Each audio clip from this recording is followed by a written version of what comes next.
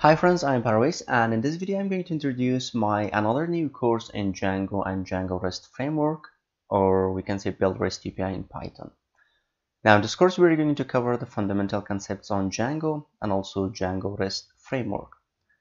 So you can see that uh, uh, we are going to cover different topics uh, on Django fundamentals and like building two simple projects and also we are deploying the project uh, to Heroku and also to Python Anywhere.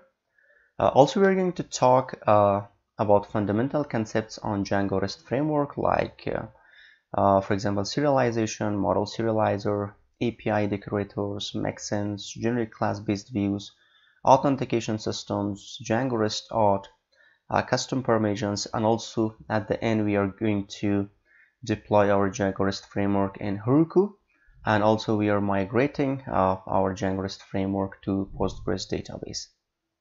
Uh, also, this is the last section, and we uh, we are going to talk about different topics in here. Also, especially we are going to talk also about JWT token authentication, and also we are deploying our Django REST framework to Python anywhere.